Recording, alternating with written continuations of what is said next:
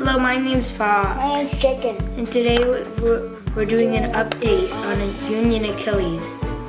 So the update is that you can do without the blades on the white launcher. So let, let us show you through some battles.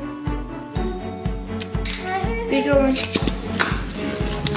I don't think this speedboat's gonna last. It doesn't look so well. Yeah, but he has bigger blades, so he'll definitely kill Dragon. Nah, uh, he's going down. They're both going down. Dragon! Achilles wins. We're, yeah, but I'm, I'm worried about the paint, like I said on the Achilles video. Like, like when it's in speed mode, it's like kind of like more unprotected.